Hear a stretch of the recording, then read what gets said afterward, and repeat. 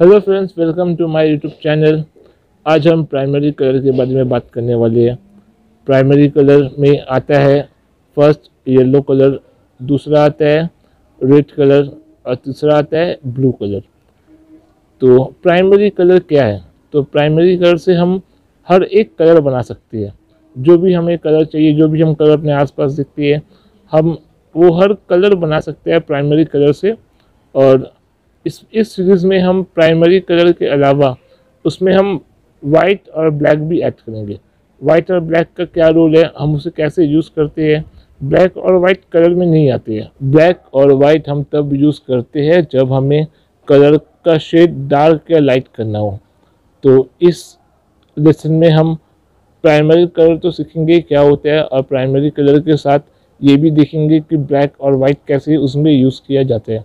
तो चलिए शुरू करते हैं।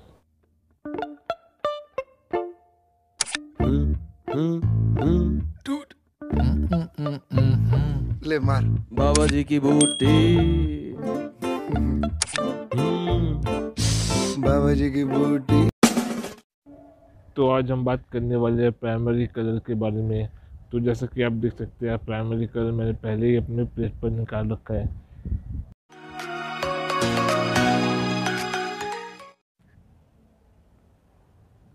तो मैंने निकाला है lemon yellow, scarlet red cobalt blue और इसके साथ साथ मैंने ब्लैक और वाइट भी लिया है।